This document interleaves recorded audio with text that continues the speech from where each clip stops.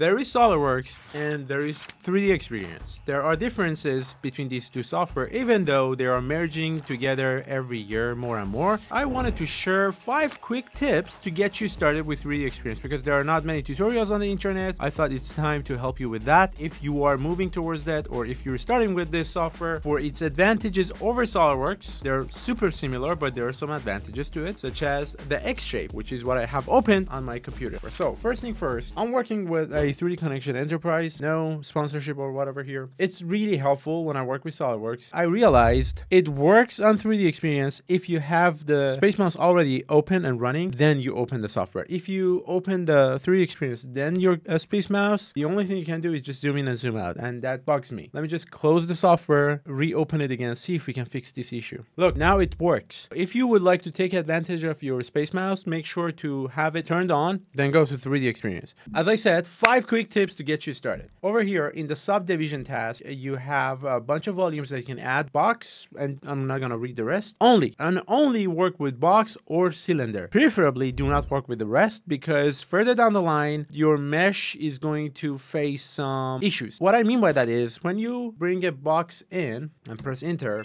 everything ends up symmetrically and clean. The meshes are not going to end up into a single point. Any shape other than cylindrical or box, some of the surfaces end up in a single point, and that single point could create complexities in your geometry. So my first tip for you is regardless of the geometry you want to go for, pick box or cylinder, the one that is closer to the one you want to build. Over here, I opened up box and I just immediately pressed enter. This is another tip. Press enter so your box is fixed on the coordinate automatically.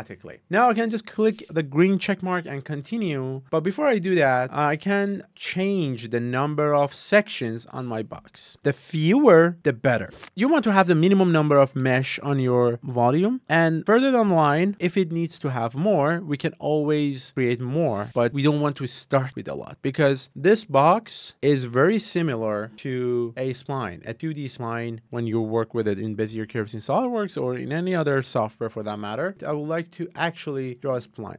Again, just like that, when you want to work with spline, you want to work with the minimum number of points, control points, because right now I have two and I can just, you know, bend this in almost any curve that I want. And it's very, very flexible and it gives me everything. But if I want to create a spline that has so many points, it's very difficult to control the spline because there are so many points to controls. And same thing happens here, only with surfaces and volume because it's 3D. So you want to have the minimum number of mesh that you want want to have. Not one, but at least if two by two by two works, go with that. Then you can immediately have the rough geometry of the thing you want to have. For example, I would like to have three by two by three, not this one, this one, to create something like a bike seat for the sake of the example. All right. I don't know how many points it was to this point, but there were like two or three. Another point is how to select and drag the points. I can just select a point and drag it like this. Select it and drag it with this robot that appears. But if you pay attention to this robot, it's normal to my selection and it's random. It's neither in the direction of XYZ or anything else. To have it in the right direction, this is the next tip, Right click and click on XYZ. Now, every time I click on any point, I get the standard directions of X, Y, and Z on my robot and I can just drag that point in that direction. All right. We can also box select our points all together to have it like this, right?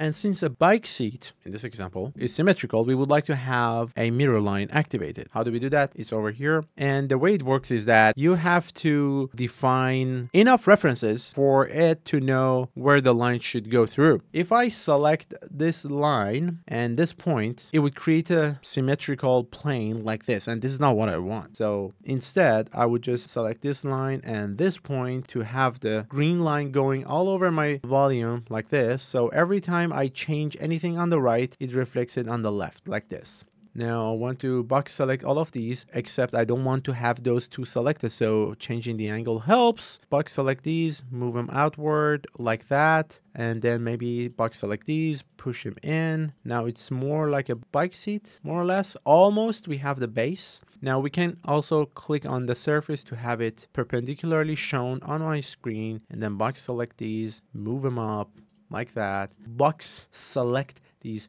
move them up like this, okay? And we can also select a line or double click on it to have it looped and then click on the loop, but we don't want to do that. Instead, I want to select this and this, holding control key down to multiple select, and I want to push it a little bit in.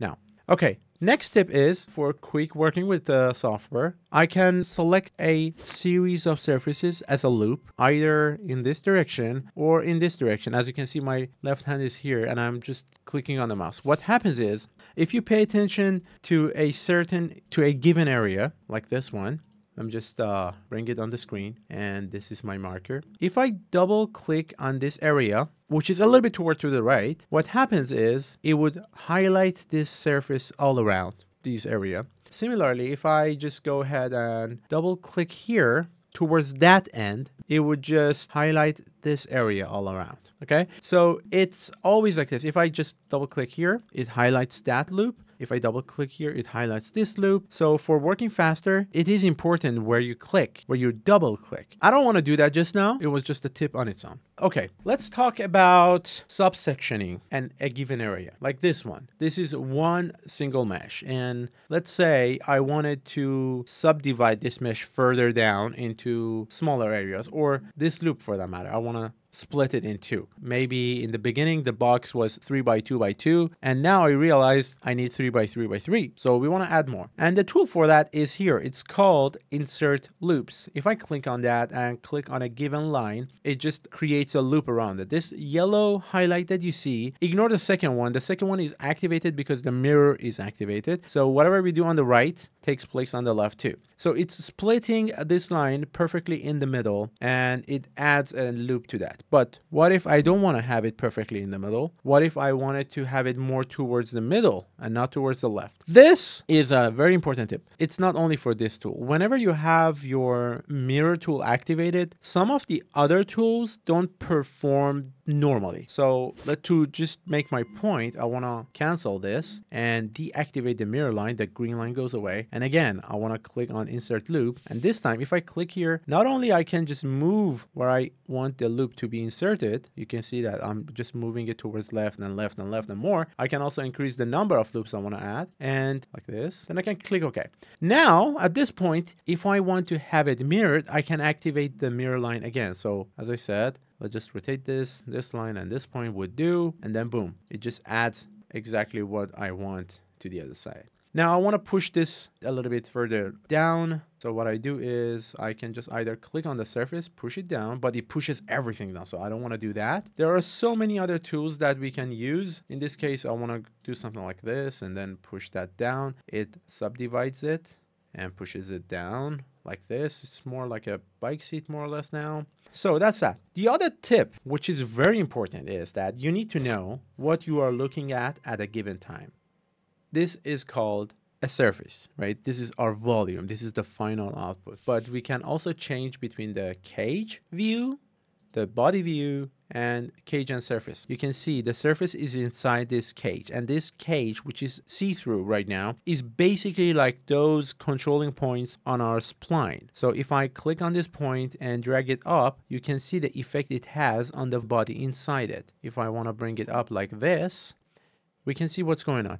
And believe me, a lot of times it helps to only work on the cage because it just gives you a different perspective and it gives you more control over the body. It's only the view, but it gives you more control. Another thing you can see here is that this curvature on the inside on the body is a little bit higher than the rest of the body because the point on the cage is pulled up and this is towards that. Now, but it's not filling the cage. Similarly on the back, there are some gaps over here between the body and the cage. If you want to push the body towards the edge of the cage and fill the cage, there is a feature called crease and the crease edges, and it's over here. If I select my surface, you can see that it is pushed down to the cage. Let's just select the rest so you see.